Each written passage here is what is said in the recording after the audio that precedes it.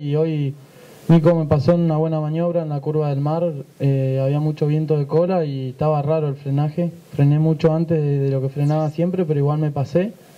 Bueno, ahí me pasa y después de ahí en más traté de buscarlo, sabía que, el auto de él iba muy rápido, el mío también, veníamos, yo particularmente venía al límite.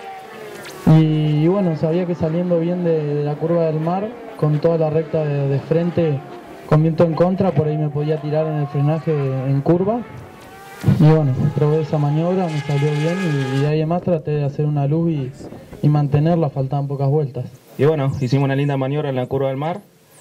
Eh, realmente durante todo el fin de semana tuvimos un gran auto. Agradecerle a toda la familia Werner, Adrián Fernández, a Juan Estupiele y bueno, eh, veníamos tratando de aguantarnos, ¿no? Hacíamos muy bien la curva al mar, le hacíamos una pequeña diferencia. Y con el viento y todo, bueno, él me ha llegado al final de la recta muy bien, creo que está funcionando muy bien también el auto de él, el motor y y bueno, hizo una gran maniobra, así que bueno, muy feliz igualmente por sumar muy buenos puntos para el campeonato, estar primero en la Copa y creo que podemos ser protagonistas, ¿no? Ir pasando las etapas, estando adelante es muy bueno.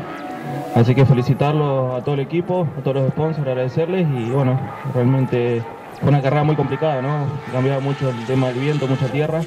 Estamos pensando también, así que creo que estamos muy bien.